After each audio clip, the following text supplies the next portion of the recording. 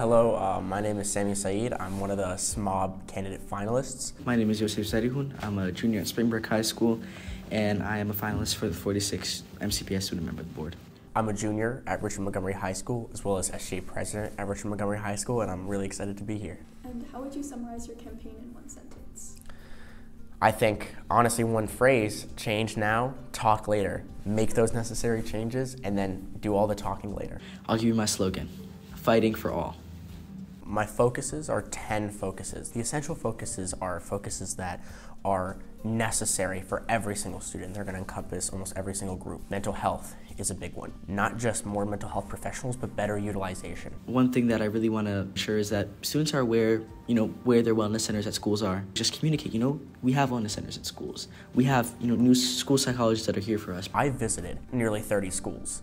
I've talked to hundreds of students and I've asked them all to name their school psychologist, and I've got maybe one or two answers and for the longest time I didn't get a single answer. And I think that highlights a problem that is very deep rooted, which is that students don't have access to mental health resources or at least not access to information about these resources. I want to make them more available, not just, you know, in school hours, but over the weekends or during breaks, over Zoom, in whatever way that we can. Though you know, our school school bells, you know, last from whatever, you know, the eight hours in the day.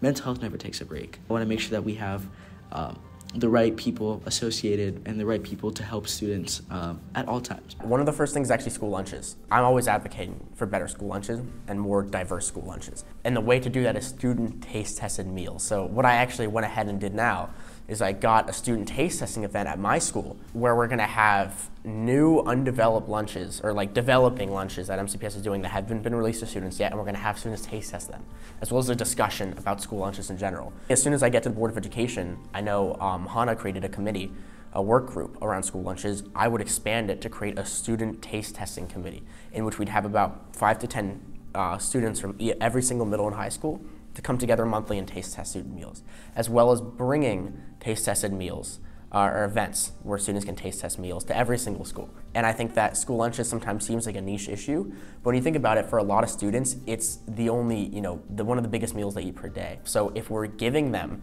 something that isn't going to help sustain them energy-wise, nutrition-wise, they're not going to have the energy to learn, and that's really harming academics, and that's har harming, you know, the opportunities of students to really focus in cl the classrooms. If we can ensure that all the meals that go out are taste tested and approved by students, as well as offering more diverse options, so not the classic white American options that we're offering right now, reaching out to a, a more diverse group, getting vegan options, kosher options, halal options, that's how we're going to be able to ensure that our school lunches are the best they can be, and that's probably one of the first policies I'd pursue. The first thing that I really want to do as SMOB is initiate a task force to address the ongoing opioid epidemic. With this task force, I want new creative solutions in our county. I really want to expand on what the county has done already. Narcan distribution, better drug curriculum, and communication are my three-step plan to address the drug use issue in MCPS. Narcan, Narcan, Narcan. We need to get it in all of our classrooms. We need distribution for students. The county is taking great steps with uh, making Narcan more accessible to students, but I think that should be even taken to a further level and you know, communicating with students where it's at, so make it accessible like at all locations and all points of the school. Bringing back drug counselors as well. I would try and work towards creating a contract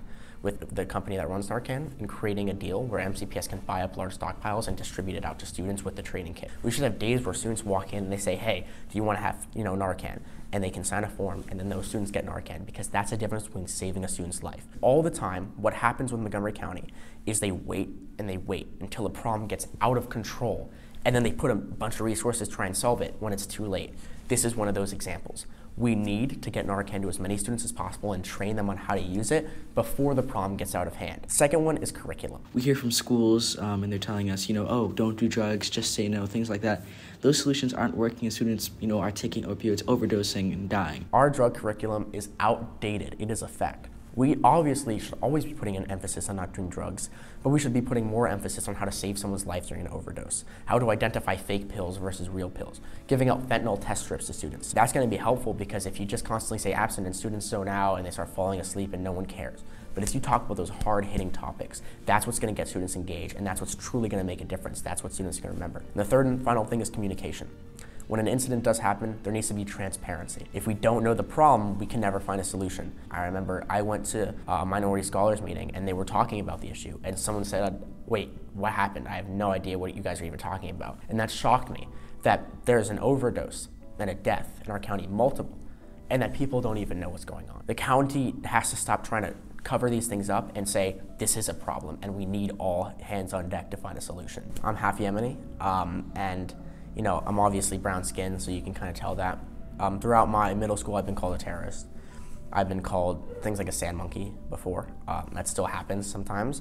I know that students from a number of ethnicities and cultures have had similar experiences and it's absolutely heartbreaking that these things happen in our county. Many schools say there are no place for hate school, and they just say that, and then they stop there. No. If we're gonna provide disciplinary action to students, what we need to do is discipline the students that are promoting hatred in our county, not the ones that are, you know, using drugs. They need rehabilitation support.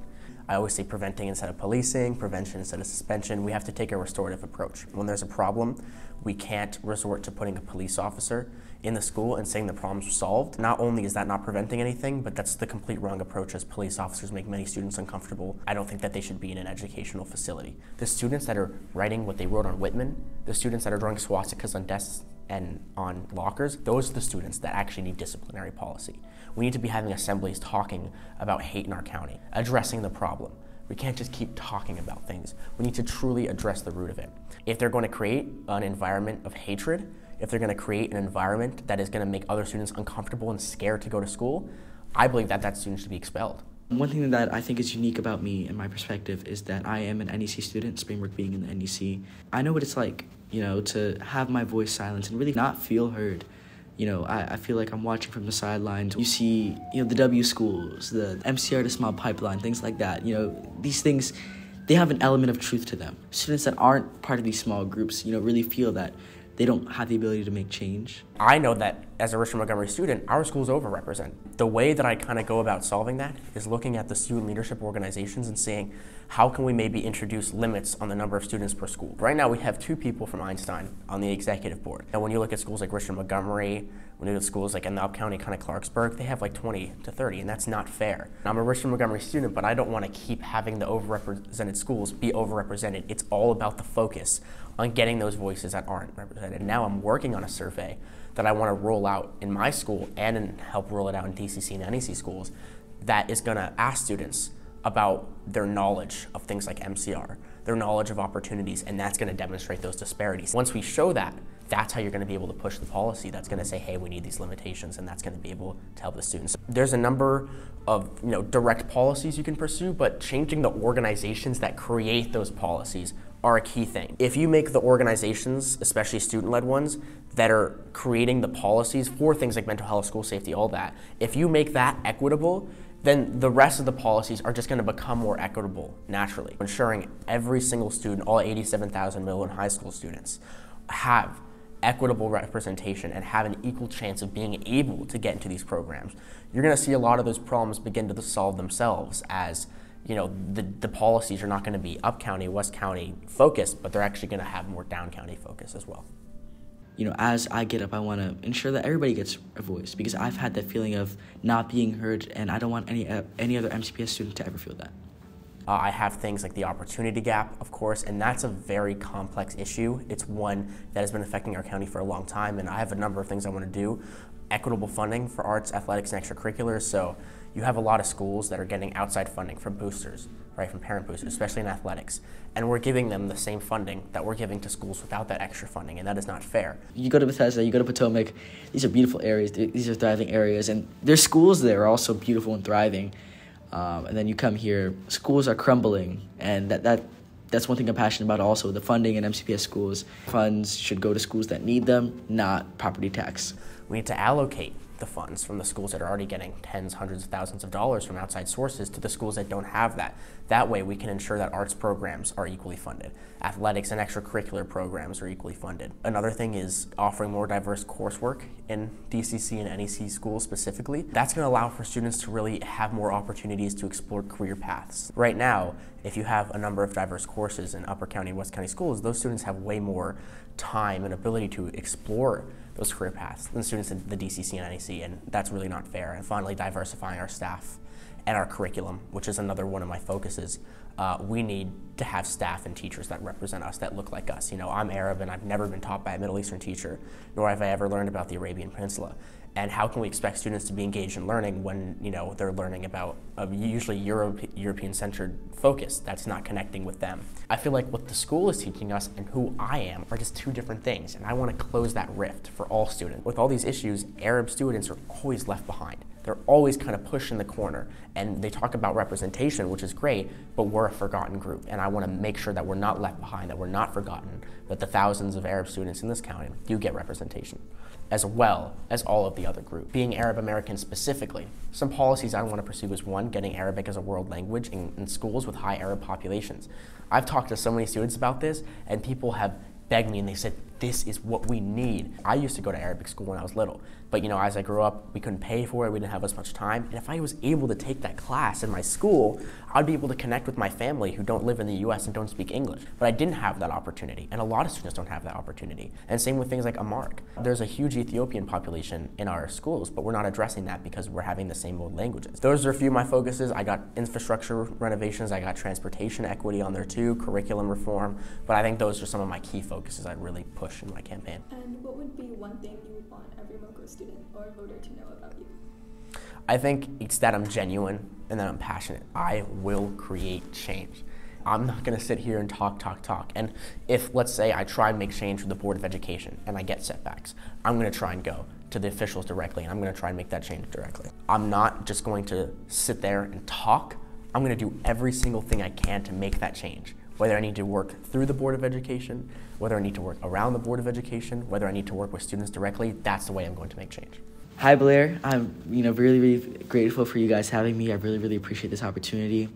Um, you guys being part of the DCC, me part, being part of the NEC. I would really appreciate your guys' support because you guys are the reason I'm running. Ultimately, I was running because you know, the people down here, I really, really care about us, our voice, our perspectives. And, and if there's one thing you want to hear, I want you guys to hear from me is that I'm fighting for all, and I'm fighting for you, and I'm going to bring your voice to the MCPS Board of Education. So I appreciate your guys' support. Thank you. Yeah. about you as a person? Yeah, I think student government has absorbed a lot of my life. Like, I love researching new topics and I love, you know, debating. But I think I, there's a lot of things I like to do as well. Watching movies is definitely a big one. A fun fact about me is I've actually watched nearly a thousand movies and I love really developing you know a deep dive into the characters and really learning about them. And it really and like the, the plots like just so interesting to me to learn about new kinds of people and new environments. And i think that's kind of something that kind of carries to smob which is i love to learn about different cultures and things of that nature. And that's why i kind of want to bring that voice a lot more. Favorite movie? Apocalypse now. Oh my gosh um, Marlon Brando, Martin Sheen, 1979. Takes place in the Vietnam War, but isn't about the war. It's about the characters. So over quarantine, I got really, really into cooking and baking. When it comes to ethnic food, I'm Ethiopian.